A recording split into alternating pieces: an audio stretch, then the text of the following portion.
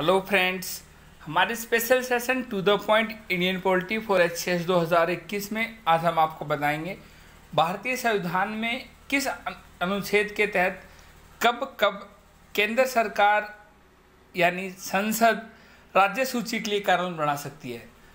हम आपको बता दें, जब दो या दो से अधिक राज्यों के लिए उनकी सहमति से संसद द्वारा राज्य सूची के विषय में संविधान के अनुच्छेद दो सौ बावन के तहत विधि बना सकती है। यानी जब दो या दो से अधिक राज्य कहें कि राज्य सूची में से इस इस सूची में से इस पर इस विषय पर संसद को कहें कि आप कानून बनाएँ तो वो अनुच्छेद दो सौ बावन के तहत वो स, उस विषय पर संसद कानून बना सकती है।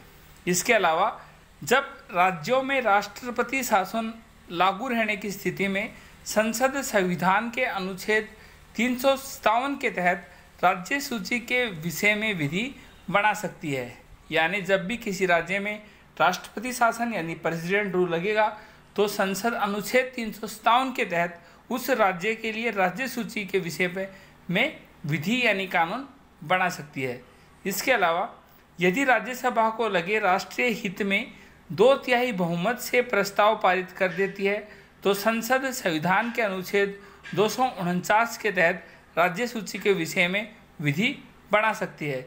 यानी जब कभी भी संसद को लगे कि इस विषय पर ये विषय राज्य की सूची में है, लेकिन इस विषय पर कानून बनना चाहिए और राज्य उस विषय पर कानून नहीं बना रहा तो वो राष्ट्रीय हित में है, उस पर कानून बनाना तो दो तिहाई बहुमत से प्रस्ताव पारित होता है राज्यसभा से और वो उस विषय पर संसद कानून बना सकती है।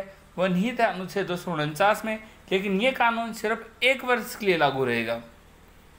इसके अलावा, यदि राष्ट्रीय आपात की घोषणा हो तो संसद संविधान के अनुच्छेद 250 के तहत विधि बना सकती है। यानी जब कभी नेशनल इमरजेंसी लगे, तब भी संसद राज्य सूची के विषय पर विधि बना सकती है। हमने आपको बताया कि अनुच्छेद दो सौ बावन के तहत जब दो या दो से अधिक राज्य कहें संसद को कि हमारे लिए राज्य सूची पे कानून बनाए तो संसद कानून बना सकती है। तीन सौ सत्तावन के तहत जब राज्य में राष्ट्रपति शासन हो तो संसद राज्य सूची पे कानून बना सकती है। और जब दो सौ अनुच्छेद दो सौ उनचास के तहत जब राज्यसभा को लगे कि इस पर कानून बनाना राष्ट्रीय हित में है तो दो तिहाई बहुमत से प्रस्ताव पारित कर उस पर कानून बना सकती है। इसके अलावा 250 अनुच्छेद 250 के तहत नेशनल इमरजेंसी के दौरान भी संसद कानून बना सकती है राज्य सूची पर। हमारे आज के सेशन में इतना ही. Thank you